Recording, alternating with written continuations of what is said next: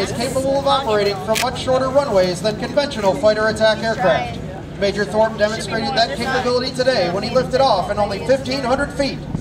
In fact, even with a 16,000 pound bomb load, A-10s can still take off in less than 4,000 feet. Because of its toughness, tenacity, and devastating good looks, the people who know it best, the pilots who fly it and mechanics who maintain it, have unofficially dubbed it the Warthog. Over the past three decades, the Warthog and its support crews have accomplished missions with precision and expertise in multiple conflicts and are currently partnering with joint forces to win today's fight. Air Combat Command, the Air National Guard, and Air Force Reserves all fly the A-10. Ladies and gentlemen, from behind and to your right, Major Thorpe and the A-10 Thunderbolt 2.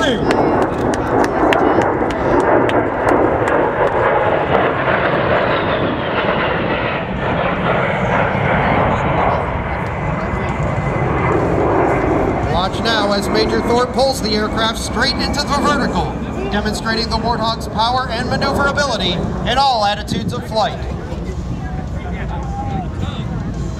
Major Thorpe is now positioning the A-10 for a pass down the show line where he will perform a double aileron roll at show center. During this maneuver, he will demonstrate the A-10's rapid roll capability by rolling the 35,000 pound aircraft at almost 200 degrees per second.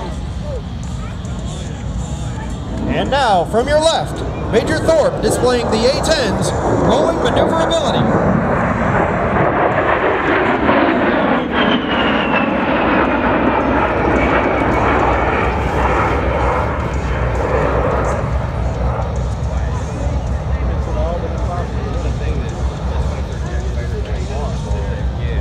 Major Thorpe is repositioning the A-10 for a slow roll along the show line to demonstrate the Warthog's precise handling characteristics. As Major Thorpe rolls the A-10, you will notice a fake canopy painted on the belly of the aircraft directly underneath the cockpit.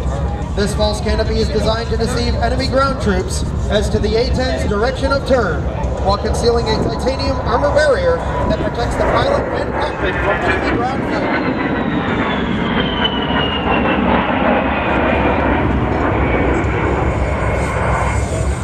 Major Thorpe is now performing a classic aerobatic maneuver, the Cuban 8.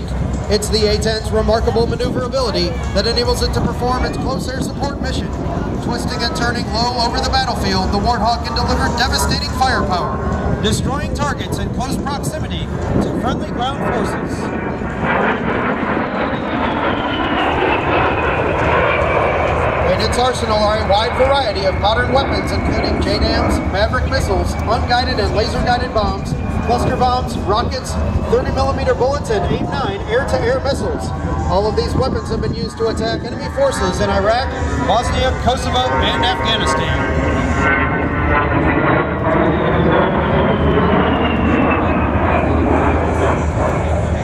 The A-10's two TF-34 turbofan engines add more than just power to its performance. They're also smokeless and much quieter than comparable engines. This makes the airplane much harder to hear and aids immensely in achieving tactical surprise when attacking from all altitudes. The A-10's engines are also extremely fuel efficient, enabling it to fly more than 2,000 miles without refueling. Add in-flight refueling and the Warthog can fly non-stop to Europe and the Middle East. Major Thorpe is now repositioning his aircraft to perform a level 360 degree high G turn.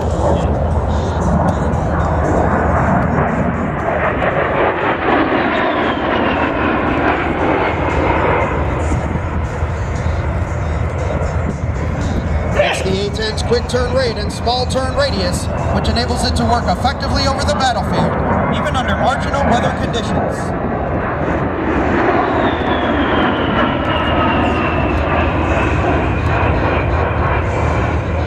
Just completed that turn at only 1,400 feet. This is less than the size of an average NASCAR racetrack and well over twice the speed of your favorite driver. On the battlefield, this capability enables the Warthog to turn quickly and evade enemy air defenses. Major Thorpe is now configuring his aircraft to demonstrate the A-10 slow speed controllability at its final approach airspeed of 140 miles per hour. This slow speed pass will give you a good chance to see the A-10's high bypass engines and unique tail design. These distinct features help mask the heat signature, which helps the pilot to defeat infrared missiles. And now, from your right, Major Thorpe and the slow speed pass. Let's go to the cockpit of the aircraft and see if Major Thorpe has any words for us today.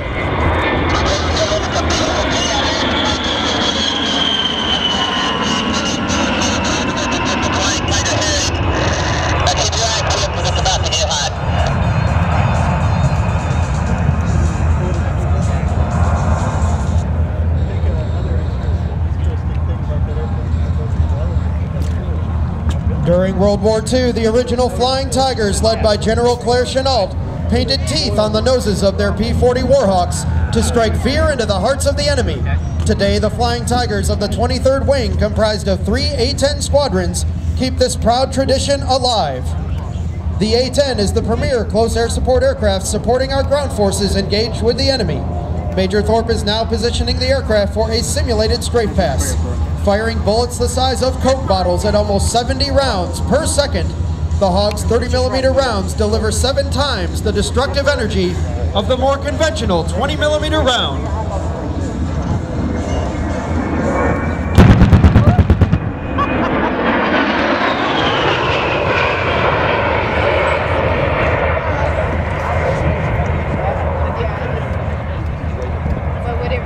Now take Major Thorpe less than 30 seconds to get back into firing position for a second strafe attack. With two Hog pilots working together, enemy forces can expect to be under A-10 fire once every 10 to 15 seconds.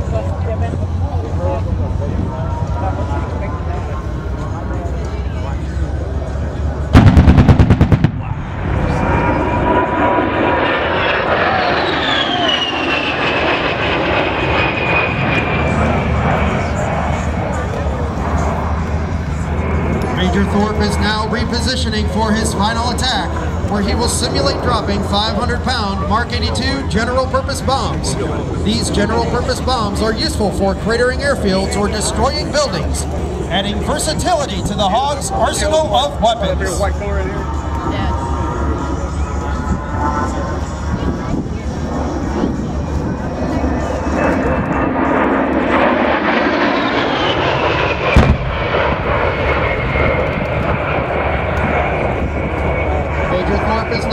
Major Thorpe is now performing a jink-out maneuver.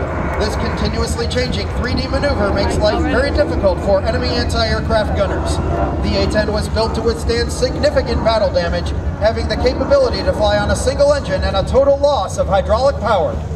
The Warthog has a well-earned reputation for strength and striking power, a reputation earned in Kosovo, Afghanistan, and Iraq, where A-10s destroyed thousands of enemy armored vehicles, artillery sites, Scud missiles, and was credited with two air-to-air kills. Today, the upgraded A-10C, armed with state-of-the-art targeting pods, satellite communication, and data link, continues to set the standard for supporting Allied forces in today's fight. Now, Major Thorpe and a four-point roll.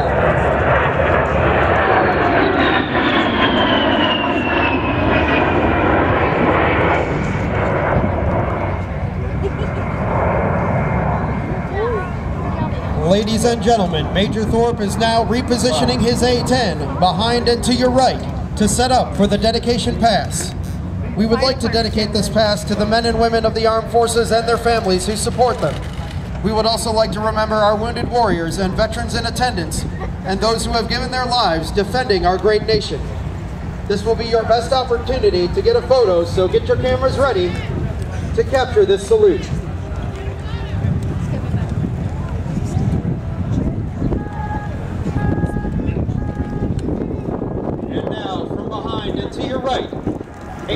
Proudly presents the dedication pass.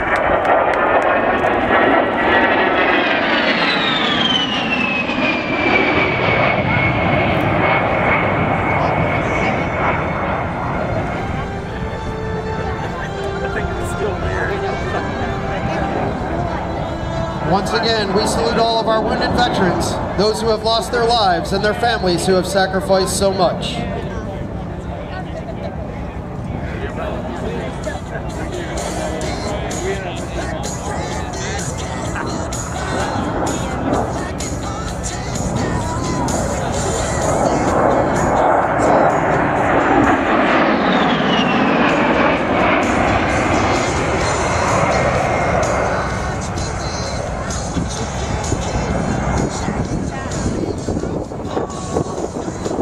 United States Air Force's Air Combat Command provides essential combat air support capability for today's joint fight. During deployments including Desert Shield, Desert Storm, Allied Force, Enduring Freedom, and Iraqi Freedom, the A-10 has consistently demonstrated its ability to fly more than four sorties per day, a tribute to the skill and maintenance of our magnificent maintenance crew. Ladies and gentlemen, let's give a hand to our outstanding maintainers and all those service members keeping our aircraft fit to fight. Major Thorpe will stop the aircraft today within 1,500 feet from touchdown using the A-10's very effective speed brakes. Because of its high-mounted engines and rugged landing gear, the A-10 can operate from unmaintained airfields not available to other fighter aircraft.